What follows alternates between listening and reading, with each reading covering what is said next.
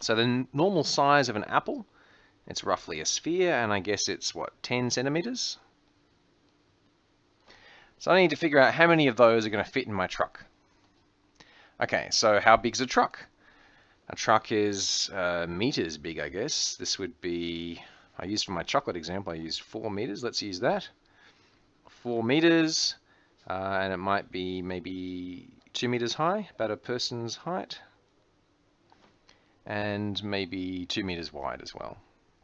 And so now I just do a volume calculation. So the volume of my truck is going to be four meters by two meters. How wide should we make it? Oh, approximately two meters. Now, if I get these numbers wrong, then I'm going to get the wrong answer. But I'm not going to be too worried about that because what I'm just trying to see is whether it's significant or not. If I get a really tiny fraction, then it doesn't matter if I get it wrong by a factor of two. It's still going to be tiny. On the other hand, if it's comparable, if it's maybe half of the cost of an apple, then I'm going to go, oh, this is really important. We should be far more careful about these numbers. Okay, so that's my volume of a truck. So that's going to be 4 times 2 times 2 is 16 cubic meters. My volume of my apple is 1000 cubic centimeters. Now what's a cubic centimeter in cubic meters? I could take this previous thing and I could multiply by 1 meter divided by 100 centimeters.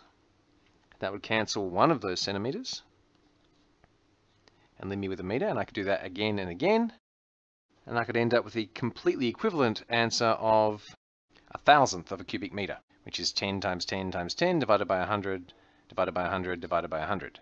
So once again, we've made the step of making a very simple version of the formula for the volume of an apple. I just said it's about 10 centimeters, and so I assumed it was a 10 centimeter cube.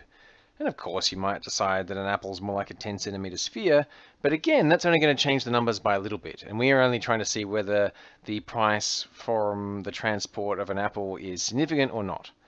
Okay, so what we can see is we've got 16 cubic meters of truck and a thousandth of a cubic meter for an apple. So the number of apples that we can transport is about 16,000.